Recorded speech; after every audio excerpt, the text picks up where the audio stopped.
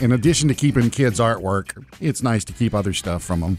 Notes, Notes. especially like Sweet when they little write. You little notes, it's their handwriting. There's usually one little cute zinger in there. Yeah. you know that's that's just them. You know, since I have been through my fair share of divorces, uh, I have gotten notes from the kids in the past. I guess while everything is fresh and new, you get the, you know, you're still my dad. I'm still going to love you. And Oh, what? What are you looking at me like that for? It's sweet. That's why. I don't know why Jodi's looking at me like that. Wow, Are you stunned? I am. You stunned that they love me? No. oh right, I, I know think she- they she's love stunned you. that you're sharing it. Probably. I'm stunned that you're sharing Yeah. it, but I guess I never thought of that. I used to of have that one that's for real. on the wall that Sammy had written me years ago. And it was like a poem that, Yeah. you know, you're still my dad and Yeah. Daddy O. And, And you know what? He, th- your kids probably really two things with that. They wanted to communicate that to you, Mm-hmm. and probably knew you'd be uncomfortable doing it face to face. Ah, they know me They well. know you.